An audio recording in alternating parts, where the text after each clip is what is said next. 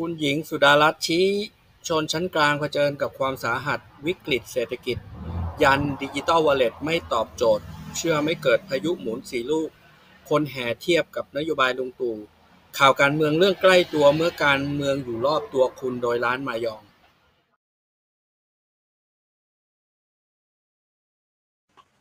ร้านมายองเป็นศูนย์รวมสรรพสินค้าครบครัน เครื่องมือทำมาหากิน เครื่องมือสร้างอาชีพ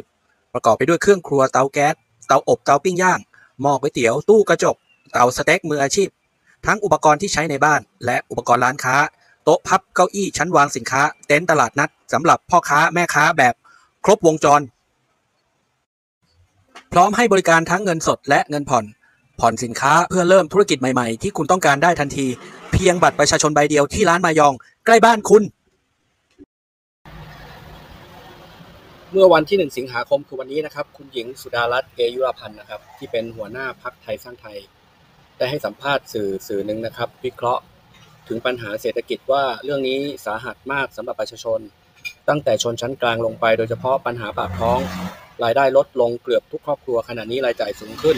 เรียกได้ว่าแพงทั้งแผ่นดิน เพราะค่าไฟค่าน้ำมันที่รัฐบาลไม่สามารถทำได้ตามที่หาเสียงไว้ และรายได้ไม่พอจ่ายทำให้หนี้ครัวเรือนทะยานสูงขึ้น อีกทั้งยังเป็นหนี้นอกระบบมีดอกเบี้ยแสนโหดซ้ำเติมเปรียบเสมือนงูกินหางเป็นสิ่งที่อันตรายมาก ๆ โดยคุณหญิงสุดารัตน์กล่าวต่อนะครับว่า 1 ปีที่ผ่านมาสำหรับการทำงานได้ลงไปดูการแก้ไขปัญหาปากท้อง ไม่มีการสร้างงานสร้างรายได้อย่างยั่งยืน รวมถึงไม่ได้ดูต้นทุนการผลิตที่ทำให้ของแพงทั้งแผ่นดิน และไม่มีการเข้าไปแก้หนี้อย่างเป็นระบบ ที่ซึ่งการแก้หนี้ทำกันในขณะนี้ที่ผ่านมาทำมาแล้วหลายรัฐบาลสิ่งที่ทำอยู่คือปรับโครงสร้างแก้หนี้เติมทุน ซึ่งพรรคไทยสร้างไทยพยายามผลักดันกองทุนเครดิตประชาชน เพื่อให้ประชาชนสามารถตั้งตัวได้ และสามารถเข้าถึงเงินกู้โดยที่ไม่ต้องใช้หลักทรัพย์ค้ำประกัน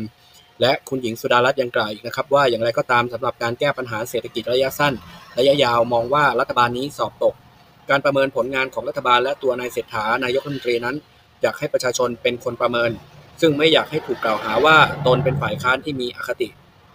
ย้ำว่าการแก้ปัญหาไม่ถูกจุด คนกำลังอดอยากกำลังจะตายหนี้ท่วมหัว มีนโยบายไหนบ้างที่แก้ไขได้และเป็นรูปธรรม ซึ่งขณะนี้กำลังเตรียมเอาแต่เรื่องทุนใหญ่เข้ามา โดยที่จะไปหวังที่ดิจิตอลวอลเล็ตนั้นเป็นนโยบายไม่ตอบโจทย์ หากนโยบายนี้แจกเฉพาะกลุ่มเปราะบาง แจกเป็นเงินสดรับรองว่าตัวเลขเศรษฐกิจจะดีอย่างยั่งยืนแน่นอน แต่กลับแจกเป็นดิจิตอลวอลเล็ตพูดง่ายๆ คือเป็นคูปองไม่ใช่ digital money และไม่ใช่บาทดิจิตอลดังนั้นอ้างว่าเพื่อปลูกพื้นฐานไปสู่การใช้ดิจิตอลวอลเล็ตนั้นไม่ได้เป็นเพียงคูปองดิจิตอลเท่านั้นเอง และนำไปแลกของ อันนี้เป็นคำกล่าวของคุณหญิงสุดารัตน์นะครับ แล้วก็ยังกล่าวเพิ่มเติมอีกว่า